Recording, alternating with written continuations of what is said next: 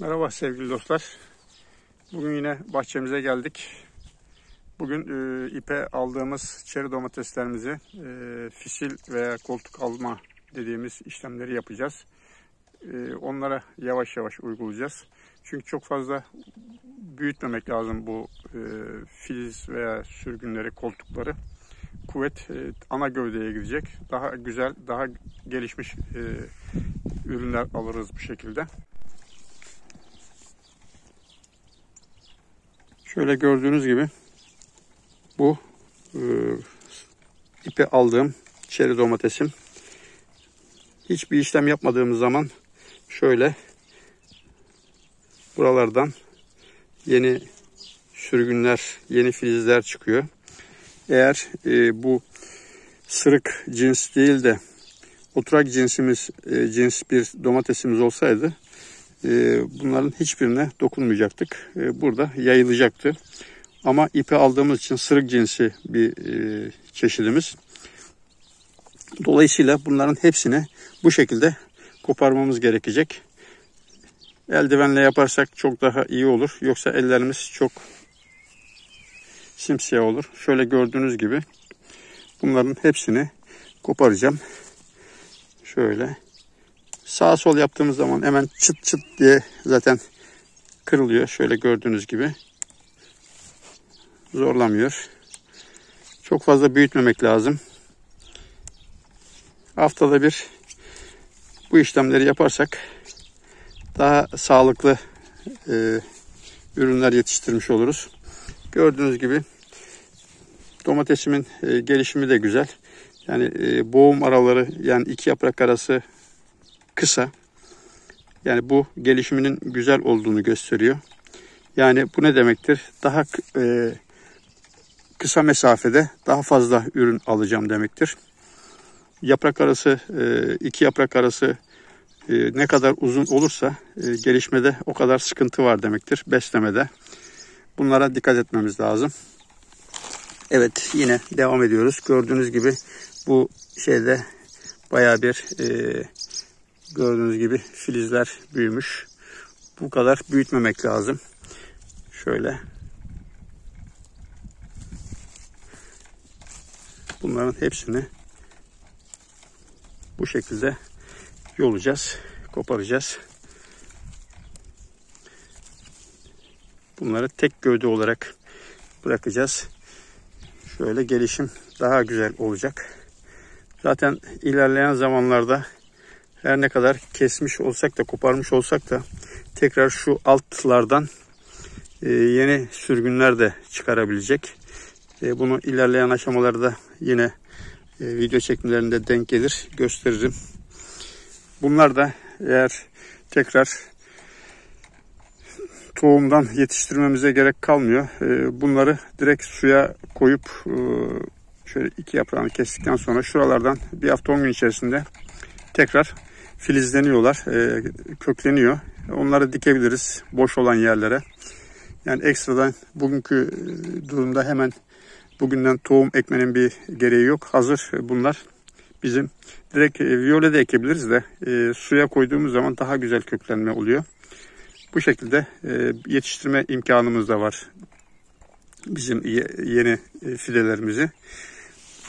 Bu şekilde gördüğünüz gibi ben 4 çeri domatesi ve bir tane reyhan e, uygulaması yaptım bu sene. Mutlaka domateslerinin içerisine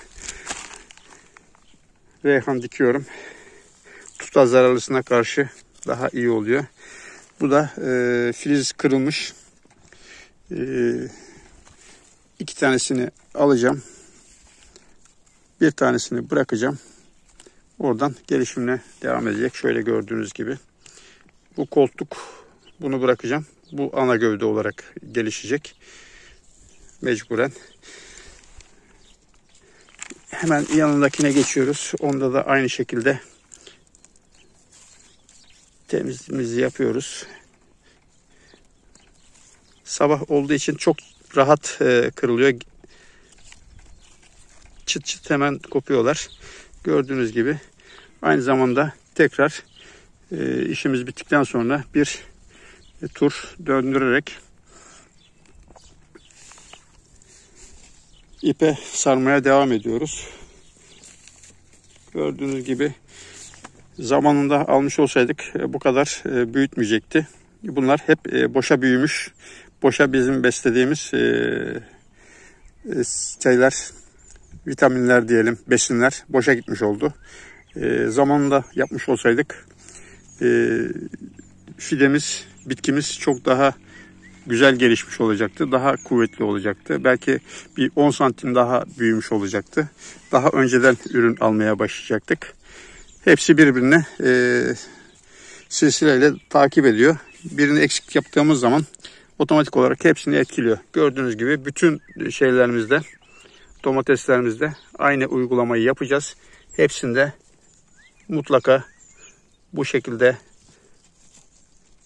yeni sürgünler var. Ara sürgün. Bunların hepsini temizleyeceğiz.